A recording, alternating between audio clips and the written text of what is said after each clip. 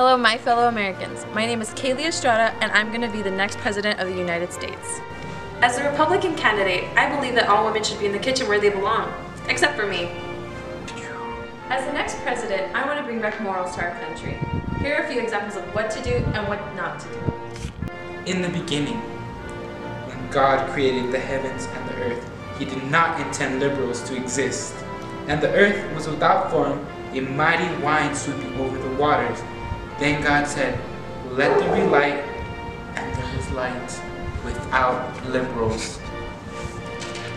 Thank you, Lord, for blessing this home and excluding all liberals from our lives. Amen.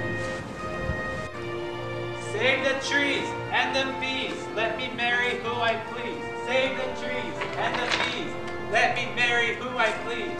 Save the trees and the bees, All Americans are created equally. Although most Americans can't afford the luxury of my cars or my house, we're all going to be taxed equally.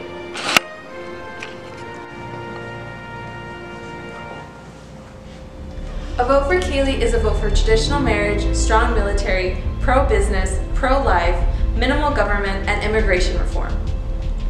Deport the Colombians and vote for Republicans. Kaylee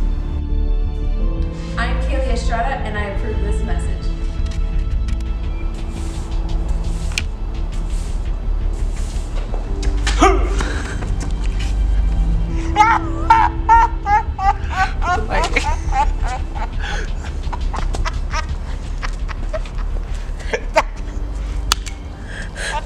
Ha ha ha!